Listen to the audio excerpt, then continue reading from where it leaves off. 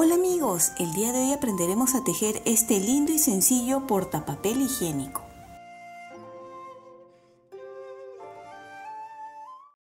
Bien, para empezar a tejer este lindo portapapel higiénico, vamos a empezar desde la parte de aquí arriba. Aquí yo tengo ya uno listo y fíjense, vamos a empezar desde el aro de aquí arriba. Y para eso necesitaremos uno de los rollos. No sé si en cada país varía o no, pero necesitamos saber cuál es el eh, la medida de este círculo del centro del cartón. Es un cartón, ¿verdad? Como les digo, no sé si en todos los países sean igual y aparte sé que hay otros papeles que vienen más o vienen menos, ya ustedes se van a ir guiando del que utilizan. Por ejemplo, si mido, tiene más o menos unos 5 centímetros y medio, un poquito menos, ¿sí? Y según la medida que tenga mi papel, me voy a guiar de aquí. Les muestro algunos de los materiales con los que pueden tejer. Por ejemplo, aquí tenemos rafia. La rafia em, es más difícil que se manche. También es una muy buena opción. ¿Sí? Acá tenemos la rafia. Hay de muchos colores. Por ejemplo, tengo en este y en este otro color. Y acá tenemos trapillo, este es mucho más grueso, tal vez es como para un crochet de 10 milímetros tal vez, ¿sí? Ustedes tendrían que hacer la prueba. Y el día de hoy lo voy a hacer con este hilo de macramé.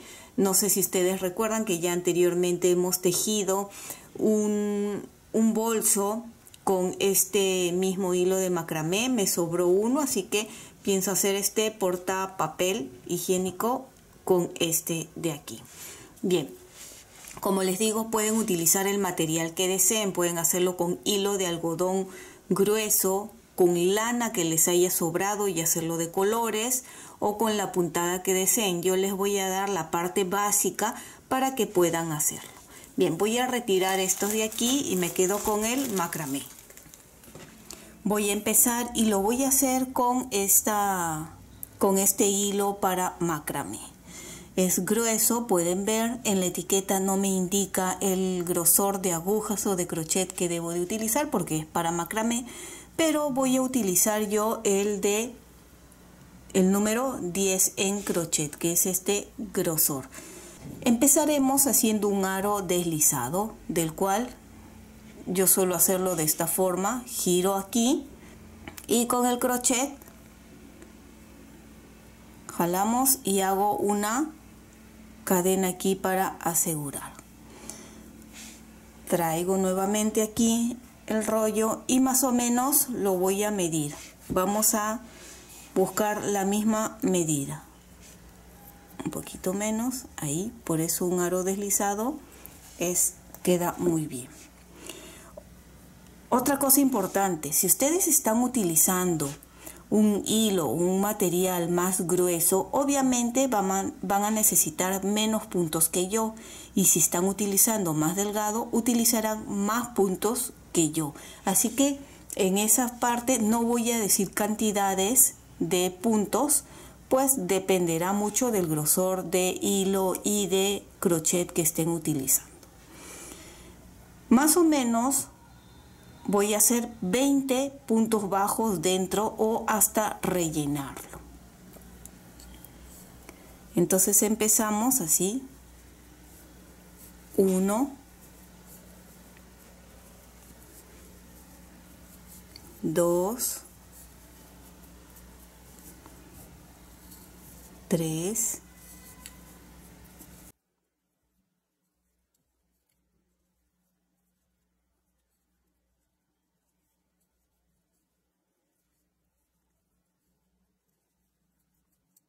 Tus likes y tu suscripción me ayudan muchísimo a seguir adelante. Y si no estás suscrito, ¿qué esperas? Es gratuito este canal. Y si ya lo has hecho, muchísimas gracias.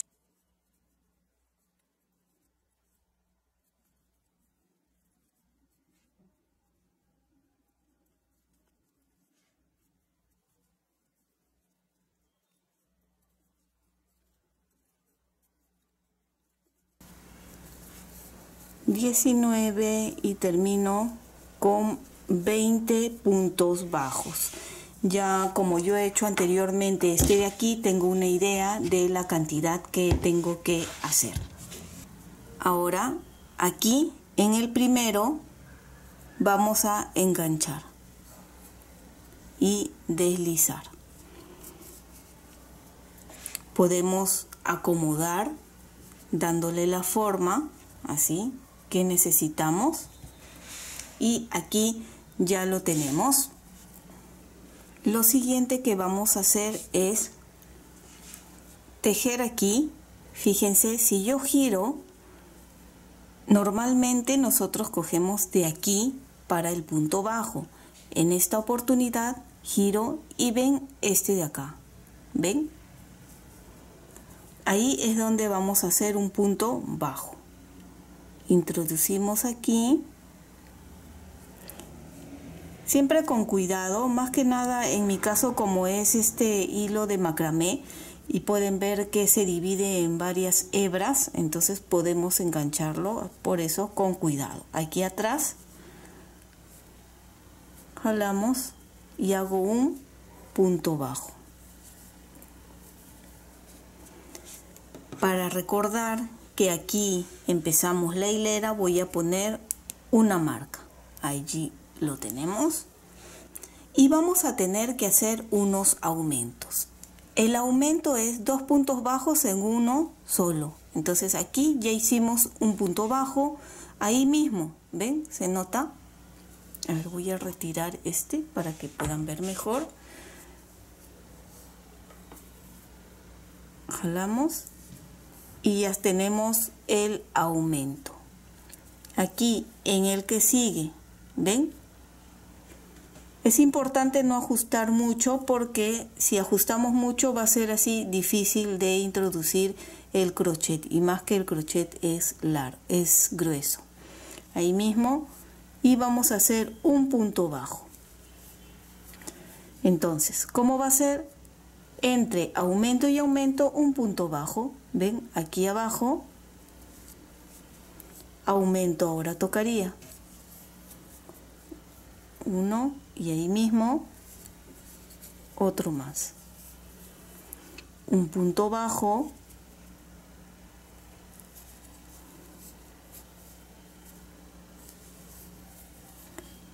y en el que sigue aumento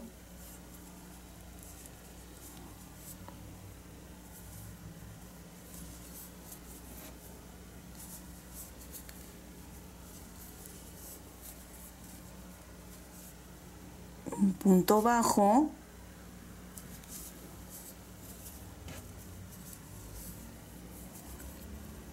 Y aumento. Y así ustedes van a continuar toda esta hilera ya solos.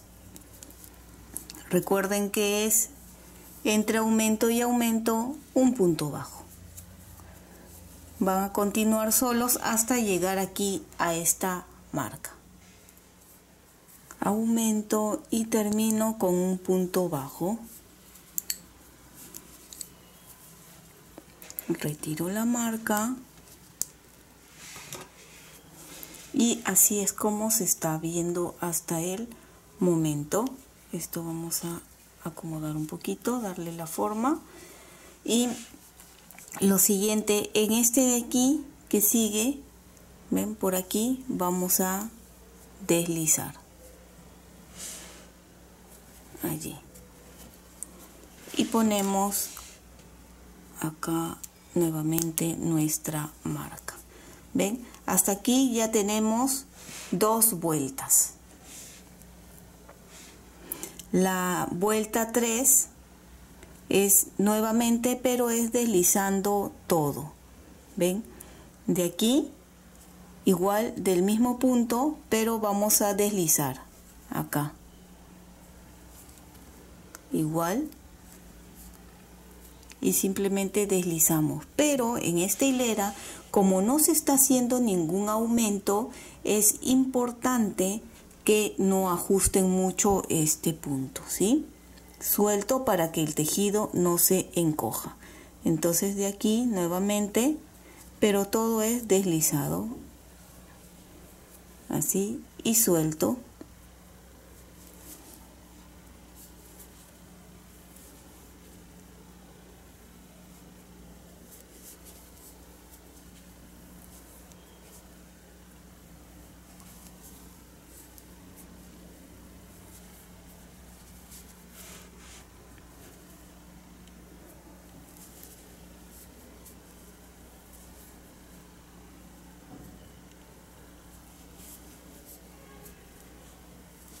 ¿Ven?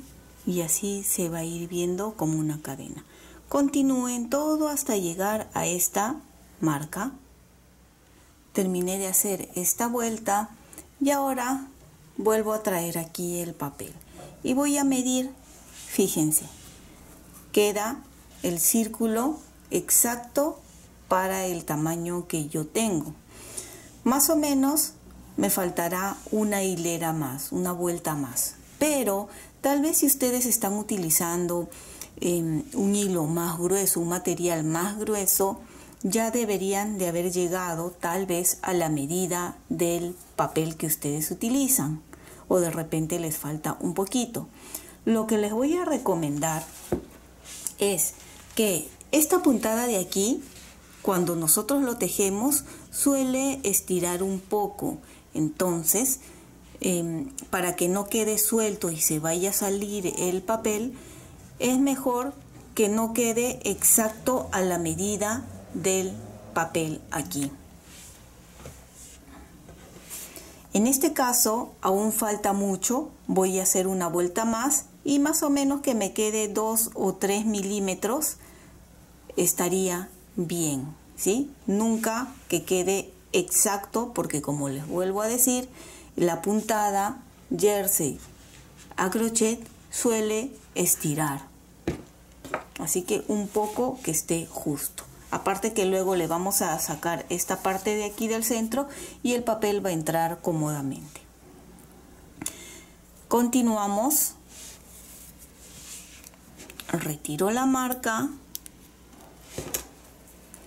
Y aquí mismo vuelvo a hacer un punto bajo deslizado, perdón. Aquí mismo tiro y deslizamos ahí. A ver, se ha enganchado acá una hebra. Aquí. Y deslizamos así. Nuevamente vamos a hacer aumentos. Entonces hago una cadena aquí y por acá atrás. Nuevamente una vareta que va a ser aumento, así que ahí mismo hago otro. Aumento. Y esta vez entre aumento y aumento vamos a hacer dos puntos bajos. ¿Ven? Ya hice el aumento. En el que sigue un punto bajo. En el que sigue un punto bajo y aumento. Aumento. Aumento. Otra vez repetimos.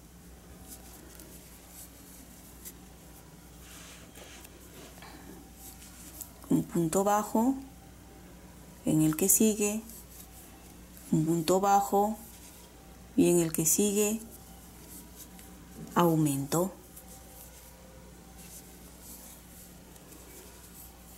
Nuevamente un punto bajo, un punto bajo y aumento. Bien, continúen ustedes así hasta terminar esta vuelta.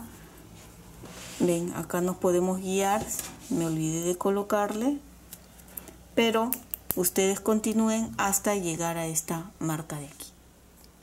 Y enganchamos en el que sigue aquí. Voy a hacer un punto bajo. Allí. Y coloco. Bien para los que están haciendo más grande que este de aquí tendrían que hacer tres puntos bajos, aumento, tres puntos bajos, aumento esta hilera y luego ya continuarían como estoy explicando ahora, que toda esta hilera lo van a hacer solo en punto bajo eh, desde la parte de aquí abajo. Luego vamos a cambiar la puntada. Entonces todo es punto bajo, ya no vamos a hacer más aumentos y solo puntos bajos aquí. Desde atrás, como hemos estado haciendo hasta esta hilera va a ser de esa forma.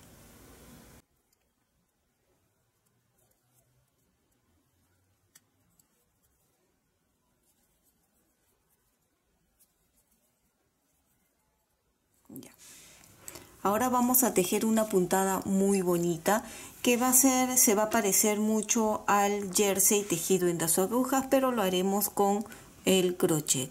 Y será muy sencillo. Aquí normalmente tejeríamos aquí, ¿verdad? Aquí en el medio de estos, acá en el centro, introduzco el crochet y tejemos un punto bajo ahí. Allí. ¿Ven? Aquí nuevamente entre punto y punto, acá, en el centro del punto, mejor dicho. Y jalamos. Vamos a estirar bien para que la siguiente hilera se vea mucho mejor, ¿sí? Acá, nuevamente, en el centro, ¿ven?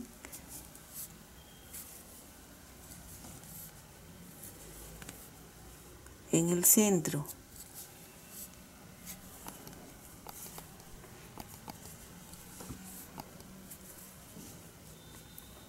En el centro. Así se va a tejer todo hasta terminar.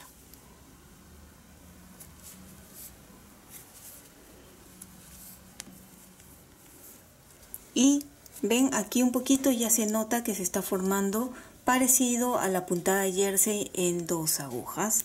Y lo único que vamos a hacer es continuar tejiendo todo recto, ¿sí? Aquí nuevamente voy a, tejer ya todo recto así. Eh, voy a colocarle entonces aquí otro tipo de marcador ya para no estar moviendo porque ya no vamos a hacer aumentos ni ningún tipo de estas. Voy a ponerle aquí un marcador solo para saber cuándo me toca la siguiente hilera aquí Igual continuamos, ven, aquí en el centro del punto tejemos y traten de hacerlo un poco estirado para que se note mucho mejor. Ven, acá ahora sí se nota entre este y este aquí en el centro tejemos. Ven, ya mientras vamos avanzando se nota mejor aquí en el centro.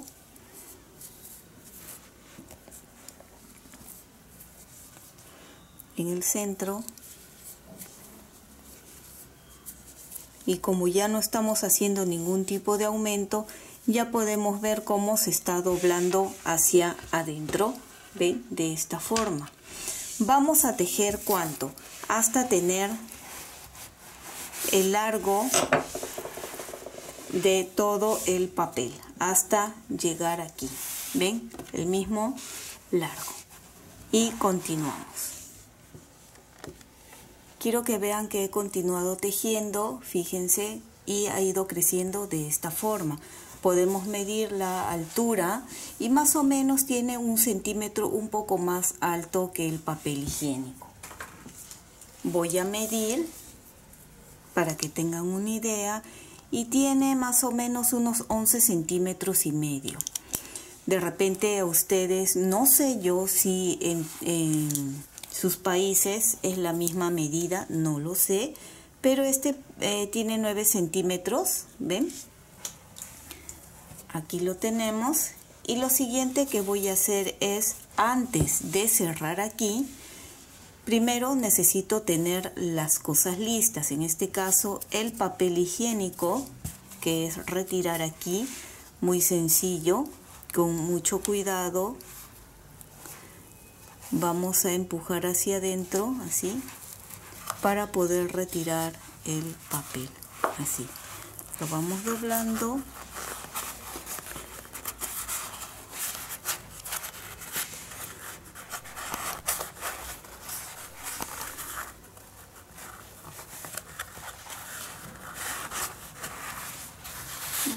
Y aquí sale ven solo despego acá y ya lo hemos retirado lo siguiente de una botella de agua vieja que tenía ahí guardada esta botella de agua es de 2 litros y lo he cortado a la altura del papel higiénico más o menos con una tijera y le he colocado una cinta para evitar que nos cortemos o nos dañemos. En mi botella estaba guardada, por eso está viejita. Pueden utilizar algún recipiente, algún tazoncito que tengan. ¿Para qué sirve esto? Mientras nosotros vamos utilizando el papel higiénico, se va a ir acabando y va a ir angostándose. Entonces, nosotros podemos colocarlo aquí adentro, ¿sí? pero mientras se va acabando el papel se va a ir cayendo por acá. Y para evitar eso utilizaremos este de acá. Una vez que le he sacado, simplemente así que encaje. Ustedes busquen, no necesariamente tiene que ser de agua, busquen uno que eh, entre más o menos aquí a la medida.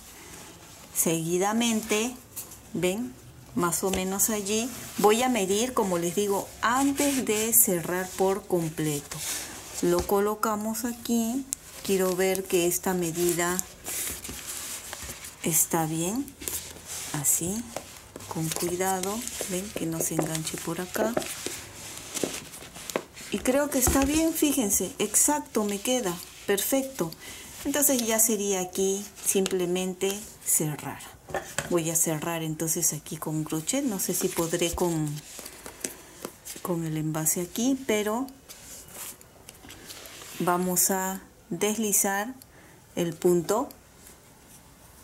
Primero deslizamos. Si ustedes desean pueden hacerle una terminación diferente hacerle aquí algún diseño diferente aquí arriba.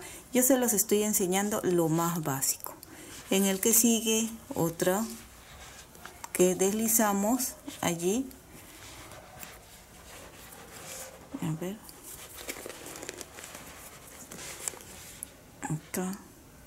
Deslizamos. Allí.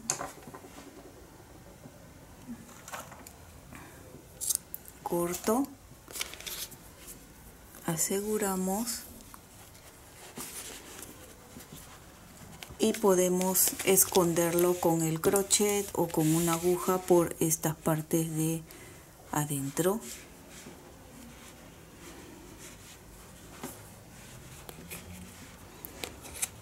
Lo estoy haciendo ahora con el papel adentro es un poco incómodo ustedes eh, lo sacan para mayor comodidad.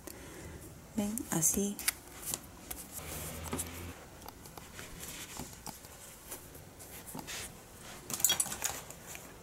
luego cortamos y fíjense queda así perfecto muy bonito. Ven como les digo esto va a sostener que el papel no se vaya a caer cuando se esté acabando.